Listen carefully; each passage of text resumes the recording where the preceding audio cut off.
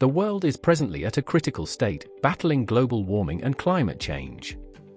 Our actions and inactions have proven to be detrimental not only to us as humans, but to the welfare of the Earth. What then is the way forward? Over the years, through its Eco Heroes initiative, Green Growth Africa has repeatedly witnessed young African students implement project ideas channeled towards creating a sustainable environment, providing not only a sustainable way of living but also social and economic value.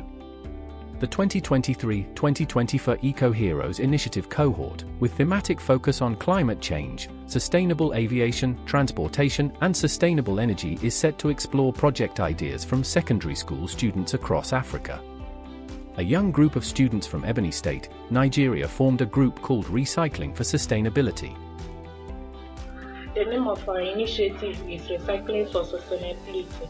Motivated by the level of degradation in their community caused by improper waste disposal and poor electricity supply, the group gathers wastes from their community and turns them into useful items and toys such as fans, torchlights, solar-powered vehicles etc. Why did we come up with this initiative, you may ask? Well, in our marginalized community, we lack access to basic amenities such as good roads and electricity. This has brought untold damages to our community ranging from gullies due to overflooding to total darkness at night.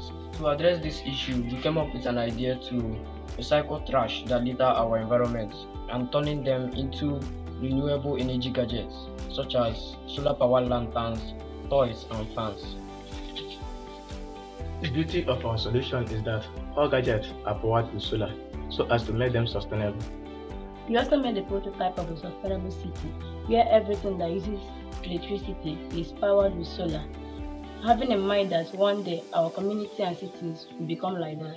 With their project, they hope to someday create value for themselves and other children in their community by spreading their knowledge and skills while also reducing the level of pollution and waste in their community.